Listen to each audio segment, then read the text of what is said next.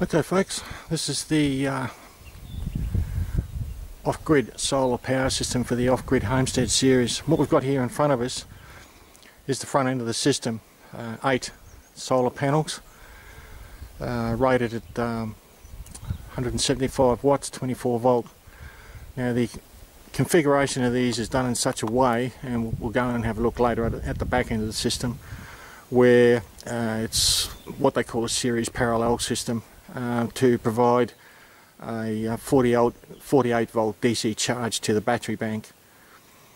Now this system's about six years old, the complete system. So as you imagine back in those times, doesn't seem that long ago, solar technology was very high priced. And uh, I was just talking to John, just this array itself with the stands uh, you can see the uh, steel poles there that are concreted into the ground. Uh, was around about $10,000 on its own just for the array itself and the uh, mounting gear. That's going back six years ago.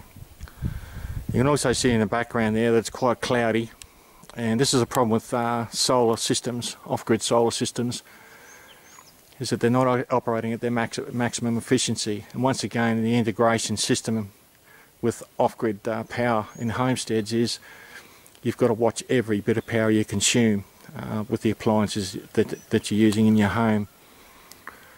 Um, in this case John here has got a uh, backup generator they had to use it for the last three or four days because we've had rain.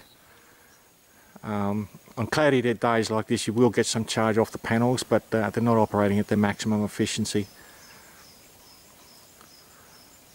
So uh, that's where it goes there. I'll, see, I'll just get a close up. The conduit there you can see is the uh, DC uh, feed into uh, the shed. We'll go inside and have a look in a sec. So uh, as I said the configuration of these are the 24, 24 volt DC panels but they're configured in such a way to give a series parallel system. I won't get too technical about it.